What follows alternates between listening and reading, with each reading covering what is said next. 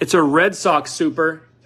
Nate King, Red Sox. Triston Casas, 101 Superfractor. That thing is so big. That's the biggest one I've ever seen in my life. Hey man, I can't help what God do for the boy. I know you was blessed like that. Yes, sir. Triston Casas, Superfractor, 101 autograph. Man, that's big and that is sexy.